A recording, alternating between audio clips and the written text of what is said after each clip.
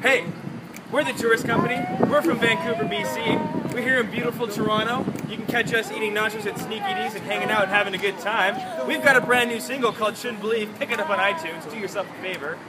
We're playing tonight. It's going to be a lot of fun. Check us out on Facebook and Twitter and Instagram and have yourself a good time.